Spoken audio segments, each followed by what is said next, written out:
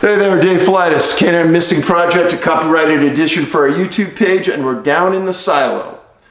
Uh, it's a little cool down here, but it's nothing like it is outside, and uh, we are glad you're here with us. We have about just a tad over 190,000 subscribers right now. We've noticed a lot of comments about people being unsubscribed from our channel, which is odd. I don't understand why this is happening or why it does happen. But uh, we've had people that have been monitoring us and have stated that it's it's extremely unusual the pace, the slow pace that we are getting subscribers compared to the number of comments and the number of people who watch our YouTube regularly. And uh, this is one of the reasons why we've talked about leaving YouTube because there seems to be some function that's keeping us throttled back, which I don't like since we're trying to grow.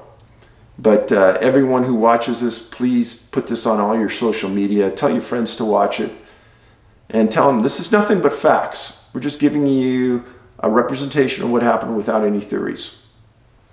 Now, the one thing I am going to read to you today is some theories that have been supplied by you, the viewer, that have been submitted to me that you may not have heard about. So I'll throw it by you.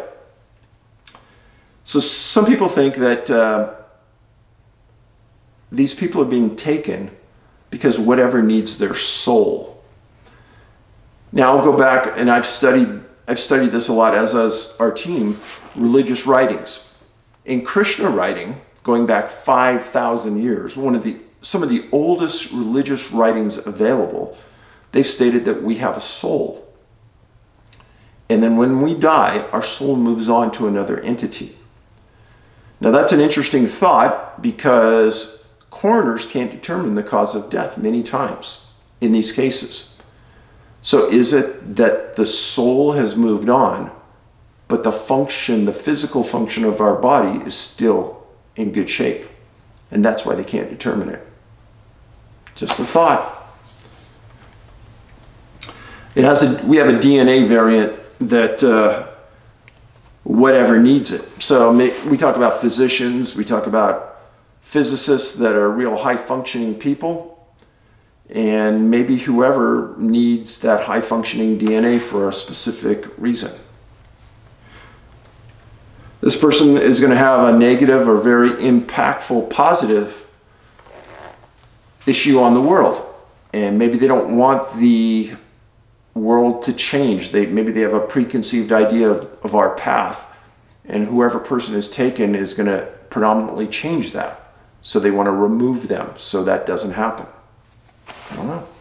Just giving you the thoughts of people.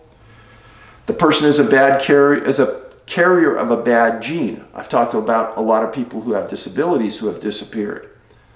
And maybe they want to keep our DNA pure and clean and they have these Every once in a while, a bad gene will make its face known and they have to take it out of society. Thought? The individual that was taken posed an unusual challenge. That's a fascinating thought to me because uh, I've had that stated to me many times after Missing 411 Hunters came out. Uh, armed people know the woods, sportsmen, usually in good shape, and they're gone. Well, maybe those people posed an unusual challenge to something, someone a predator, the predator of us, just happened to be in the area and be bored.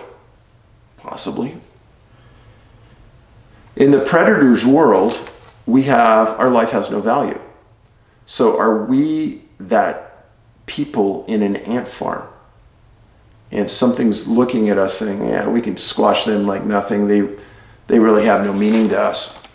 Well, there's been shows I've watched in the past, science fiction kind of shows that talk about our society from a third person perspective and they look at us being violent.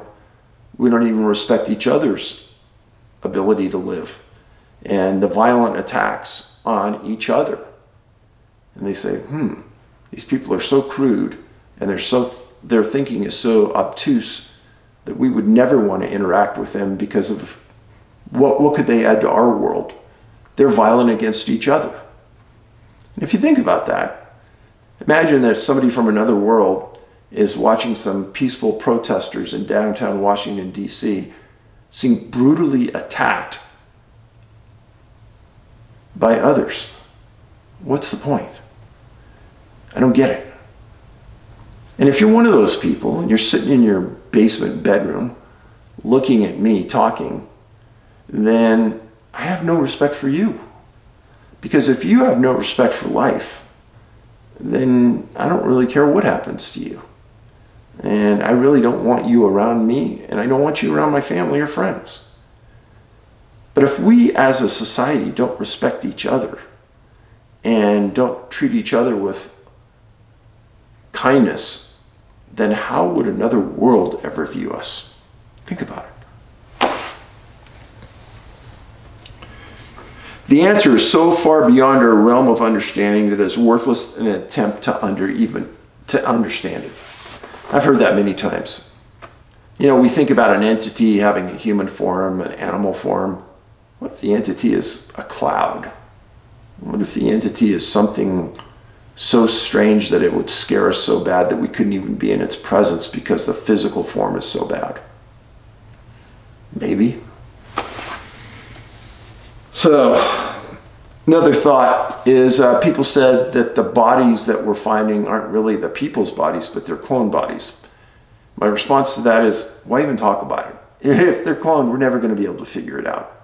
So it's, it's kind of worthless to me. Uh, it may have some value to somebody else, but not to me.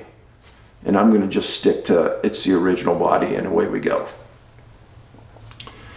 had a comment from the last video, Dr. Roberts in Minneapolis, St. Paul. His body was pushed out of a car. I kind of laughed. I mean, come on, folks. Uh, they put a homicide team on that bot on that case of Dr. Roberts because they were so concerned. Now, a coroner is just like an, a police investigator, but they deal with the body. So they're looking at minute scratches, dust particles, rubber, you get pushed out of a car, you're going to have bruising, scratches. If you're placed on the roadway from a car, you're going to have sediment from the road on your shirt, on your body. Uh, and the point was nobody saw this. And unusually, it was an area in an area that wasn't filmed on that freeway, which was weird.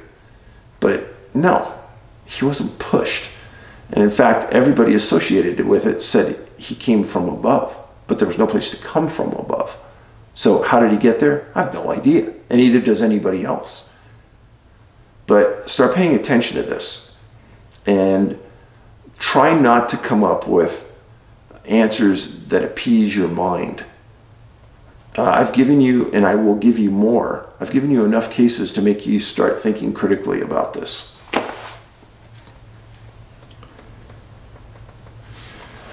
People who post comments on these videos, that's great, I like it. But don't just throw up a video with no comment. I'm going to take it down. I'm not going to waste your time and somebody else's. And if you're trying to advertise or get views for somebody else, that's not going to work. I'm just going to take all those down. Like I told you before, I go through these comments. Anybody saying anything rude, anything obtuse, anything offensive, it's coming down. You're not going to get on. So try if you want, but it's not going to happen. We're one of these places where I want it to grow. I want it to grow with good content with critical thinking, with people that are smart. Just keep throwing them out there. So, somebody sent me an email this week that uh, shook me up. We've talked about dreams before. Dreams. Um, how do we get them? Where do they come from? And I talked about people who had dreams who later thought that they knew where a body was located. So where did those dreams come from? How do they know where a body would be? But it's happened too many times to be happenstance or to be luck. Think about this one. After listening to your YouTube video and how you talked about communication with some sort of possible entity through dreams, and how one person was found by such means, I wanted to tell you a story of a similar nature concerning dream communication. In January of 95, my younger brother died at the age of six in a tragic accident. Later that year, the Oklahoma City bombing happened. After my dad heard about the children that died that were in the daycare of the Oklahoma City building that was bombed, he said a sort of prayer to my brother, asking him to watch over those kids. The next day, the wife, who was married to a man my brother was very close with, parentheses, and they're both close friends to my whole family, into parentheses, called my dad and was shaken, telling my dad to call her husband because he had a dream about my brother. This man, Jack, told my dad in his dream that he was in a beautiful meadow and my brother was there with him. They started chatting it up like old times. Then all of these small kids appeared around my brother.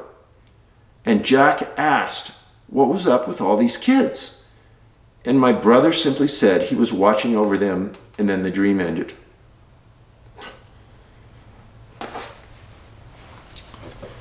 Take note, my dad hadn't talked to Jack at all during this time period, and certainly didn't or hadn't talked to him about that little prayer he had sent up to my brother.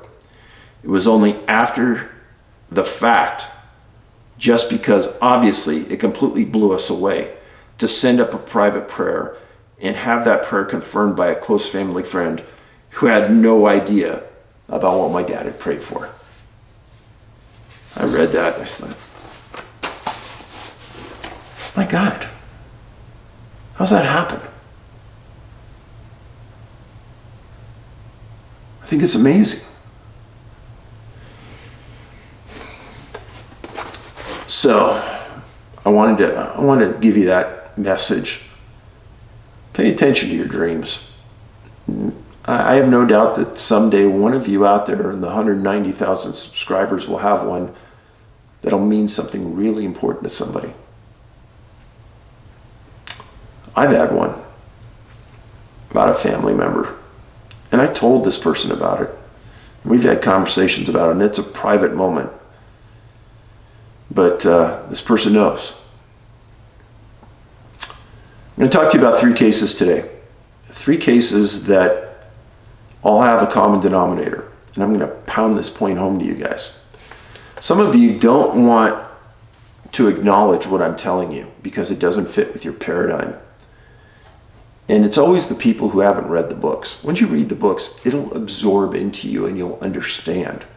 But the people who haven't think that they've got this knowledge base, and it's just not going to work. So, but I'm going to keep pounding away on you, so you so you will listen.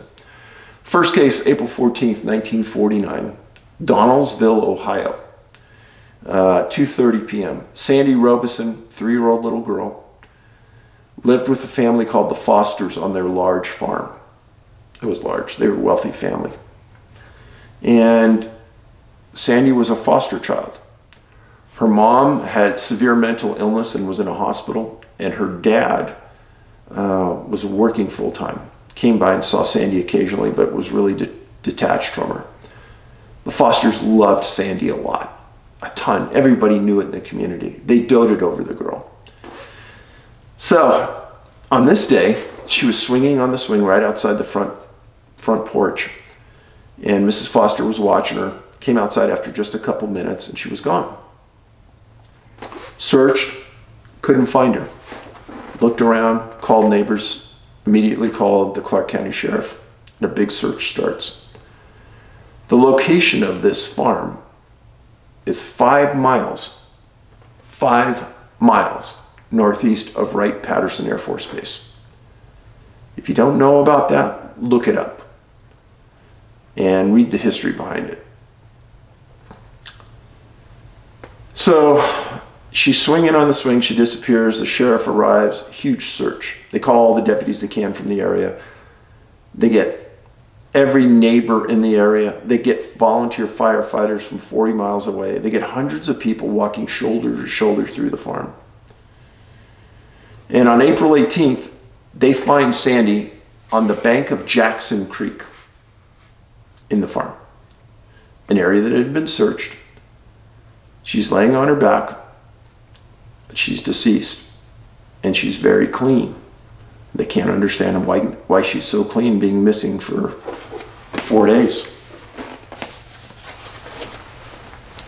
That is Sandy. So you can see her. Cute, cute girl. So they send the body to Springfield for autopsy. And they don't find any bruises, scratches, nothing on the body. Uh, they didn't understand the cause of death for many, many weeks. The investigators said that there were no tracks around the body. They don't know how she got there. And the coroner, after two months, determines that the cause of death was hypothermia. So I always say local reports for local consumption. I'm saying that I don't think they really knew what caused her death, and that's the reason it took so long. And they tried to come up with something to appease the community. So let's think about this. She's found in an area that was previously searched maybe three or four times. She's found right next to water. Point of separation, she left the front of the farm, something happened. Uh, missing time, she's missing four or five days worth of time. Next to Wright Patterson Air Force Base. I have no doubt that Sandy fits this profile. And she was placed there because she didn't walk there. They placed the, the time of death at about 1 p.m. on April 15th, the day after she disappeared, which means she was alive when hundreds of people were in the field through the whole night looking for her, calling her name. There was no sexual abuse to the body. She was completely normal. What happened? Case number one. Case number two, Zygmunt Adamski. So, before I move on, Sandy's body, Cincinnati, Indianapolis, Columbus, right near Great Lakes, Lake Erie, Lake Michigan. All right? So you kind of get a feeling for where this happened. By the way, there's Dayton. I've flown through Dayton dozens of times when my son Ben was playing hockey at Miami, Ohio University. Every time I went through Dayton, they had huge displays on Wright Patterson Air Force Base, and I stopped many times to read them all. Very interesting. Second case, Zygmunt Adamski in the UK. The UK is an island, folks, surrounded by an ocean. So, if you pay close attention to the location of this body, it's almost in the middle of the island, right south of Leeds, north of Sheffield, just uh, east of Manchester. Zygmunt Adamski. This is Zygmunt. Very famous case. Very famous case in missing 411 law. Disappeared June 6, 1980 at about 3.30 p.m. He's a Polish native.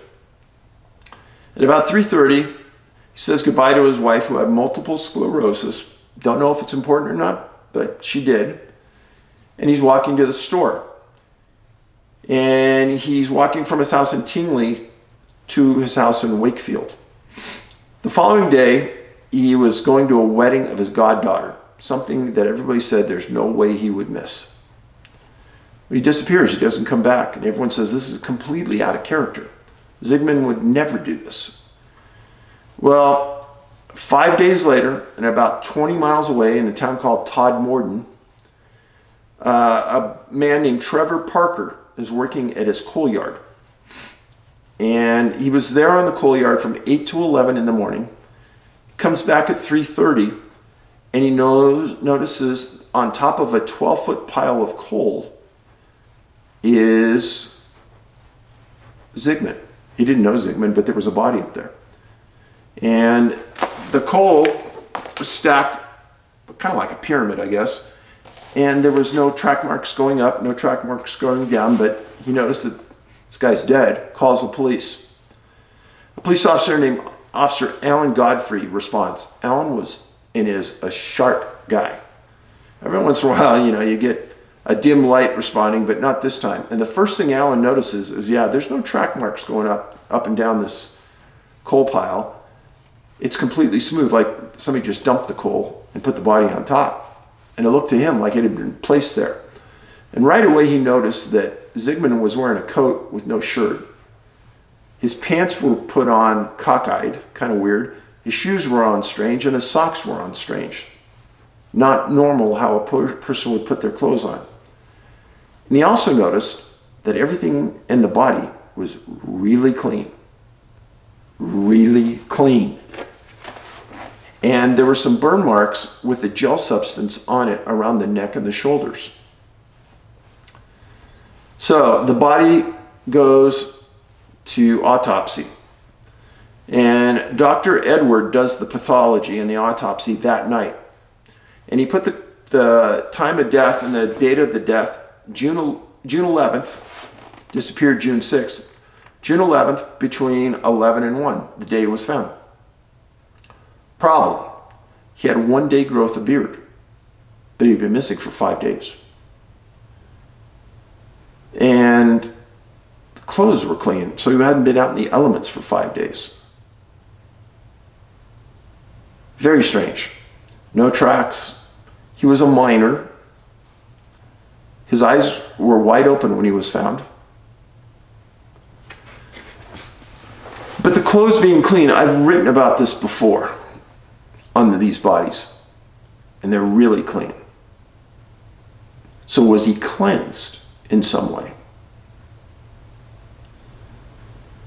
So, they ruled the cause of death was heart attack, which is strange. And the, the real problem with this case is why was it the body placed there? There's a lot of place to put a body. He wasn't attacked. The cause of death wasn't noted for months. And this thing got a lot of attention for the reasons I gave you. But I the clothes issue, the body being clean, that's what bothers me the most on this one. What was it about Zygmunt? He was a Polish native. He, he was born and raised in Poland, then came to the UK. So what happened? Don't know. Talking, I should show you this too because he deserves that admiration. That's Alan Godfrey. Did a good job on this case, and he uh, he was paying attention where a lot of people wouldn't. Thanks, for Alan, for doing a good job. Next case, going to Minnesota now.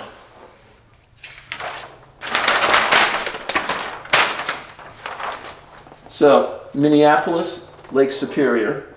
This is the Canadian border. Water, water everywhere through here. And we're at the Red Lakes Wilderness area just north of the Red Lake Reservation. This is Grand Forks, Fargo, Bemidji. So Corey Kelly, 38 years old, October 16th, 2006. Uh, he, he, lived in Crookston, Minnesota. He was baptized in the local Trinity Lutheran Church. He was employed by J.R. Simplot uh, in construction. He had two sons and he loved the outdoors, loved his kids immensely, liked to take them hunting and fishing.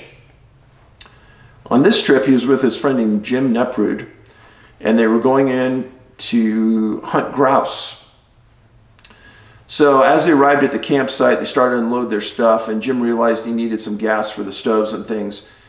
And he said he was going into town. He was going to leave his uh, dog, a golden lab, with Corey when Corey went out hunting for some grouse. So when Jim left, he stated he last saw Corey about 200 yards from the campsite heading out with a shotgun and Jim's dog. And Jim went into town. A couple hours later, Jim comes back. Campsite's the way he left it. Corey's gone. Dog's gone. And he starts honking his horn, flashing his lights. He does this throughout the night. The next morning, somebody drives by the campsite and Jim asked him to notify the Beltrami County Sheriffs. The sheriffs arrive. Immediately, they start a big search canines, ATVs, dozens of ground teams. But what bothers everybody is that Corey knew this area like you know your backyard. He grew up going to this place. Nobody believed he'd get lost. And he was he had a, enough to get through some real harsh weather. He was dressed appropriately. He had a lighter. Uh, he had a dog. He had a shotgun to blow off some rounds if, if he was lost. So On October 28th, uh, about 12 days after Corey disappeared, they're still searching for him, and they find his cigarettes and a lighter. Now, in this wilderness area, to find that, that tells you how comprehensive the search was and how good it was. They were looking hard. On the next day, the 29th, 14 miles from the campsite, uh, the Minnesota Criminal Bureau of Apprehension finds Corey's overalls, socks, hooded sweatshirt. And they're saying, What? So Corey had a lighter. He could make fire if he was cold. Uh, he had a shotgun. He could kill something. He could shoot off rounds to get help. What was going on? They didn't know. On October 30th, winter starts to set in, and they got two inches of snow, and the sheriff calls off the search. Nothing happens until April 28th, the next year. Sheriff puts his couple of people in a helicopter and they start flying the area looking to see what they could find, looking for Corey. And not far from where they found the pants, and just 12 feet off a trail, one of the biggest Warren trails, they find a naked body laying in the reeds. And the sheriff couldn't believe what he was seeing. But they go down, they get the body, it's Corey. They take it to autopsy, and they say it was hypothermia. And the coroner states he died the day after he disappeared, or the day of he disappeared. Nobody believed it, including me. And the mom made statements that there's no way Corey could have made it 14 miles through that landscape. There's no way anybody could because it's filled with swamps, down timber. And there's just no way. If mud and oh, there's no way. So the coroner made an abbreviated statement that he died the first night he disappeared. And if you think about it, he had the dog, cuddle with the dog for heat. He had a flashlight, he had a lighter to build a fire. He's found 15 feet from a walking path. He had a cell phone that was never turned on. He was hiking an area he knew. Shotgun was never found. Uh, when they, they did find the dog, Sammy, two weeks after the disappearance, and they found that the dog was dehydrated. Stop right there. It's a big red light to me. Because there is water everywhere in this area. To say that dog was dehydrated makes no sense at all. You hear that? Now, Corey was an outdoorsman. He knew how to survive. It's the reason he had a light lighter, some cigarettes, a shotgun. He had big coat, clothing. He, he could have survived. If he had hypothermia the first night, if they said he had hypothermia the third or fourth night, eh, maybe, maybe. The first night, I don't believe it. I don't believe the whole story, and neither did a lot of people associated with this.